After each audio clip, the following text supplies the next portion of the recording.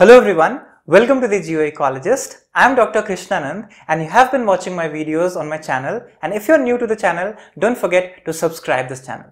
In today's session on climatology, we are going to learn about rainfall, its various types and characteristics. So before we go ahead, please like and subscribe and do share the videos with others as well. So now, after we have discussed about the clouds and its various types and family in the last session, let's understand the forms of precipitation, specifically rainfall and its distribution and its various types in this session. So let's understand the first important point that is precipitation is the process where what happens? The local air becomes saturated. So remember the saturation happens with water vapor and it starts to do what? Downpour and that is what we know as rainfall. So as it no longer can maintain the water vapor in the gaseous form, that is when the condensation starts happening as we know. So there are various forms of precipitation, right? Liquid, freezing, frozen, all these stages of different kinds of precipitation are there.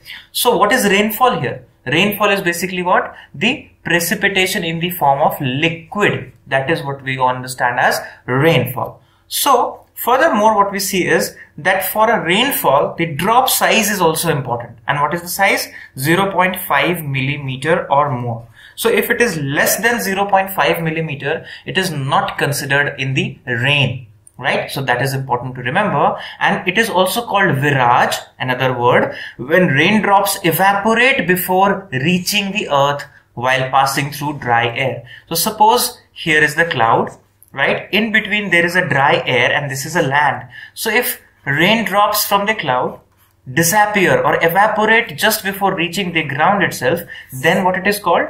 Virga. So this is important to understand. Now let's elaborate further on the rainfall more. So one important term here is drizzle. So many times we use rainfall when it is slightly slow or less and we say it is drizzling. So what is drizzle all about? Drizzle is basically light rainfall with drop size being less than 0.5 millimeters. So remember a rainfall, this threshold value 0.5 millimeter, the drop size has to be there. If it is less than that, then it is drizzling. So when evaporation occurs before reaching the ground, that time when we read about virga, it's part of the drizzling only, right? So when the temperature is lower than 0 degrees C, then what happens? Precipitation takes place in the form of, remember, snow because it is freezing temperature. So snowfall it is called then, right? And sleet is something. So sleet is what? It is frozen raindrops. Now remember, when it is frozen while it is falling down and refrozen material is now actually melted into snow water. So this is what we say is sleet right? So sleet fall or snowfall or drizzling or rainfall, all these are various types. And then one of the most important phenomena that keeps happening these days, we see that in the monsoon season as well and in various other seasons as well, that is hailstones. So especially in pre-monsoon showers and convectional rainfall, we find lots of hailstones. So what is this hailstone? Sometimes these drops of rain after being released by the cloud, becomes solidified into small rounded solid pieces of ice which reaches the surface of the earth in the form of ice crystals. That is what we say as the hailstones. So remember this is important that hailstones is not sleet. Sleet is simply just frozen raindrops which when reaches ground it melts. But remember when this frozen water droplets reaches ground as grains then it is not sleet, then it is hailstone. That is the difference, right? So we have to remember this particular difference. So now what we have in picture here is rainfall, drop size 0.5 millimeter and above Virga, raindrops evaporate before reaching the ground. Drizzle is light rainfall, drop size less than 0.5 millimeter. Mist is something, evaporation occurs before reaching the ground. The ground leading to foggy weather conditions. So that is misty condition, remember, that is important.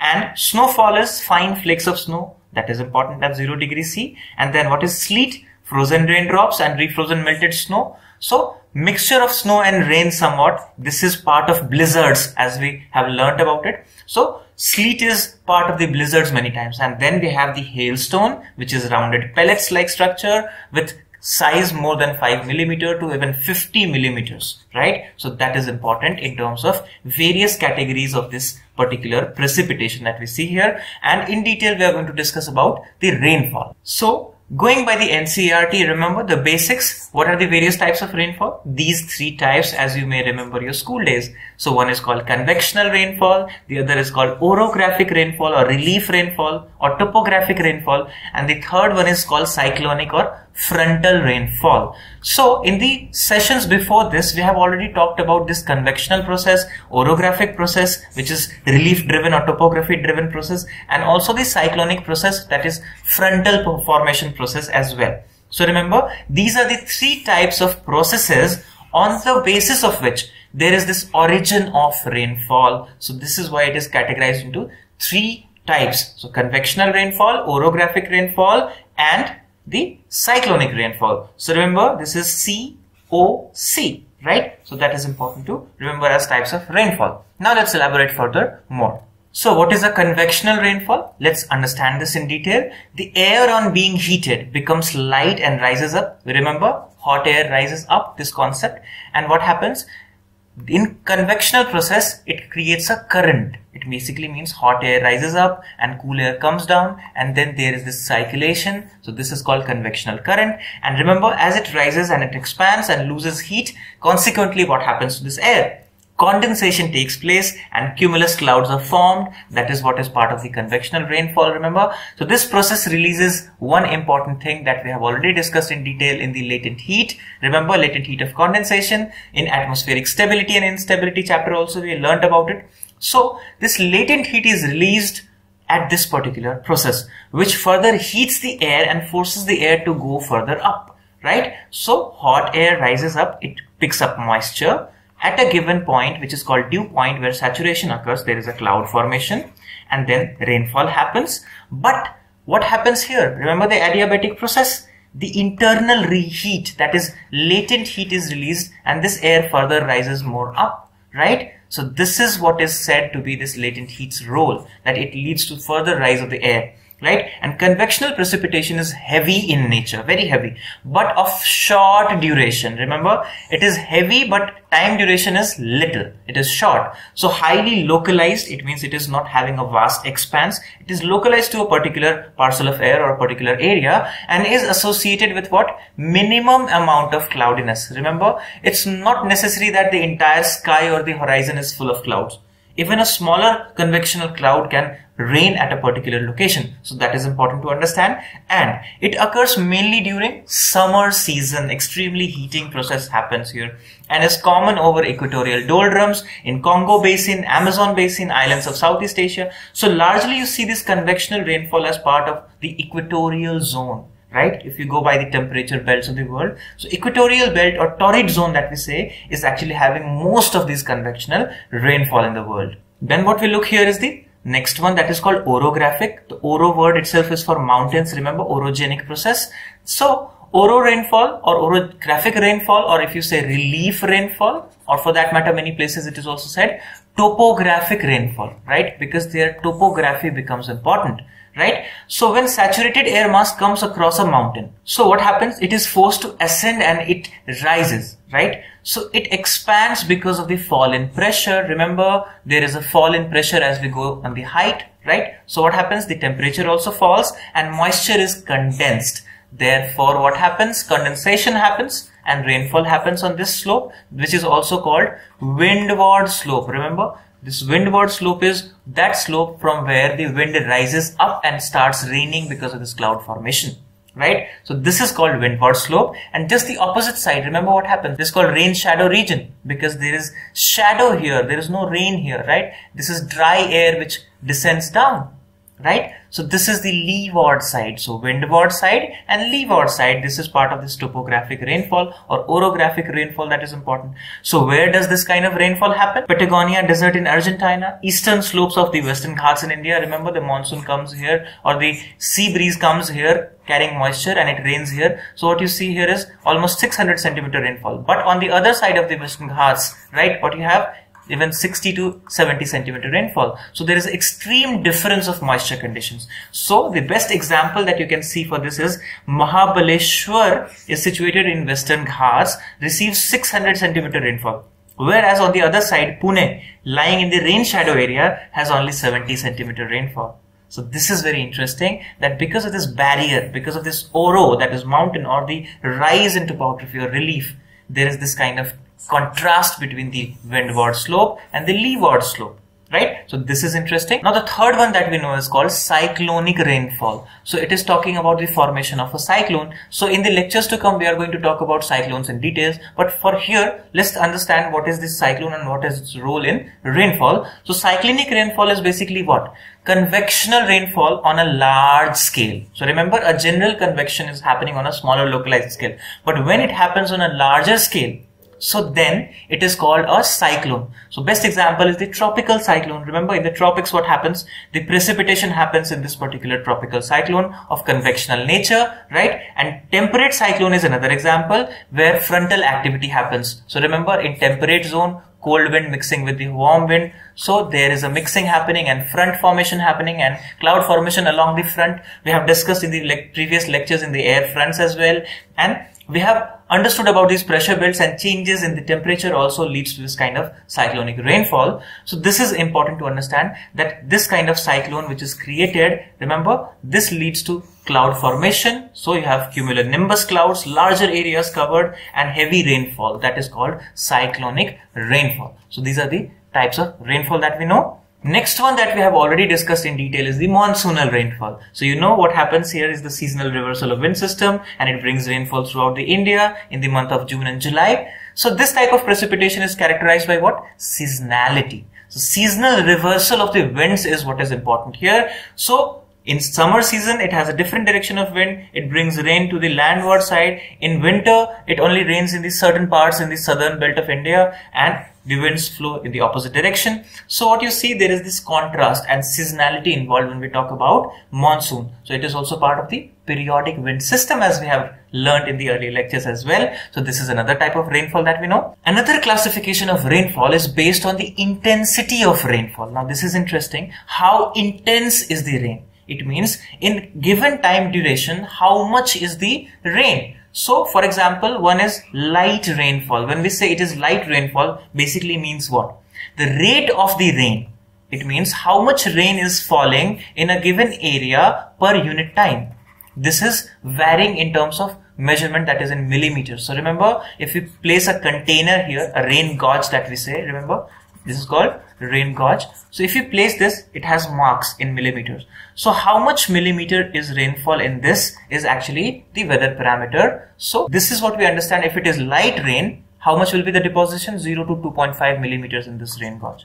Then moderate rain, it will range from 2.6 millimeters to 7.6 millimeters. So that will be moderate. But if it is heavy rain, it means it is beyond 7.6. So 7.6 mm of rainfall is the threshold between the moderate and the heavy rainfall. If it is more than 7, 7.6 millimeters rainfall, then it is supposed to be heavy. That is important to understand. Now let's come to the last part of this session, which is about the distribution of rainfall. Now for distribution of rainfall, if we remember the temperature belts and pressure belts, we can automatically correlate it. Why? Because remember for rainfall, temperature and pressure is one of the major factors that we have learned, right? So if you understand the temperature and pressure belts of the world, you understand what kind of rainfall is happening where right so between the latitudes 35 and 40 degree north and south of equator this is what you say is the subtropical belt right? What happens? The rain is heavier on the eastern coasts and goes on decreasing towards the west. So if you see east to west in this particular zone, that is 30 to 45 degree, right? So there what happens? The rainfall is heavier on the eastern side and as you go west side, remember what happens? It is decreasing. So we have most of these major deserts on the western margins only because eastern part in the subtropics is actually having more rainfall. West is dry. So this is why you see most of the world's major deserts in the western margins of these continents only in this latitude. That is interesting here, right? And the reasons for this, we already know that wind subsides, right? It does not have moisture. So in subtropical high pressure belt, there is a problem that when wind reaches the ground level, it is heated up, right? So this is lot of pressure changes with temperature changes. So these changes keeps happening. Along with the side also there is some impact of what you say is the ocean currents along these sides. So this is also related to this question which is asked that why western margins are actually having these desertic condition. So this is reason now you know. But between 45 and 65 degree north and south of equator, what happens? So now we are talking about this particular belt that is about the polar front area that we say, right? So that is largely part of the subpolar low pressure belt. So remember what happens here between 45 and 65? It is the zone for westerlies, right? So tropics is the zone for trade winds and this particular zone is the range for westerlies. So what happens? The rainfall is first received on where? If it is westerly, on the western margins obviously because this westerly will carry the moisture from the ocean to this western margins obviously.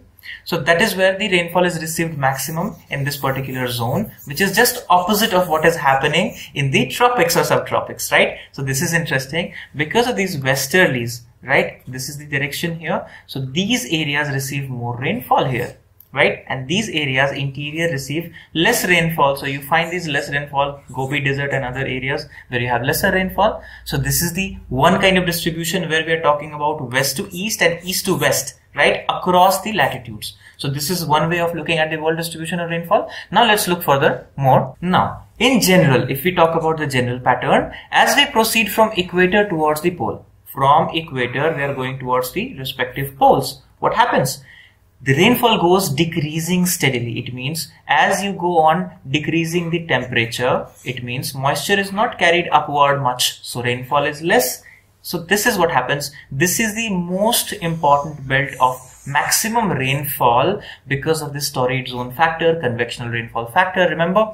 So this zone has the maximum concentration of rainfall, that is equatorial zone. And as you go towards pole, there is decrease in the levels of rainfall. So the coastal areas of the world receive greater amounts of rainfall and you know why? Because of this sea breeze bringing moisture, rising up and creating clouds and rainfall, right? So this is important. So interior of the continents have less rainfall, coastal areas have more rainfall and we know the differential heating and cooling of land and ocean. So that is the process that is responsible. So rainfall is more over oceans and the obvious reason is why these vast oceans because temperature is already there and moisture is a permanent source that is ocean is having a perennial source of moisture. So it keeps raining there in especially in the warm and wet tropics or humid tropics that we say right? So that is important as part of world distribution of rainfall. And lastly, wherever there is a mountain, remember now third type which we learn is this mountain situation running parallel to the coast. So which are those areas?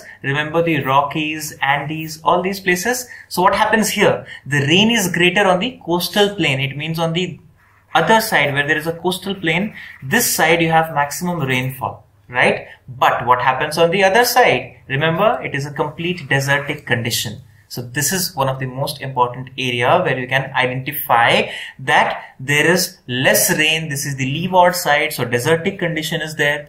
So this is important. It is called rain shadow area and rainfall varies almost, you know, many folds. So if this is having 500 centimeter rainfall on coastal area, it will only have 50 centimeter. So this is that fold of rainfall that we see. So in India also on Western Ghats, you see on the Western Ghats, you have 600 centimeter rainfall, but on the leeward side of this, we have almost 60 to 70 centimeter rainfall only. So this is a contrast because of this mountain factor and we know this kind of rainfall, it is called orographic rainfall. So that was about the world distribution of rainfall across latitudes, across longitudes, from east to west, from west to east, across the continents, interior and also the coastal region of world distribution of rainfall. So now, when we have learnt about the rainfall, its formation, its classification and various types, so in the sessions to come, we are going to learn about cyclones, its various types and characteristics. So don't go anywhere, keep watching, stay tuned and stay safe.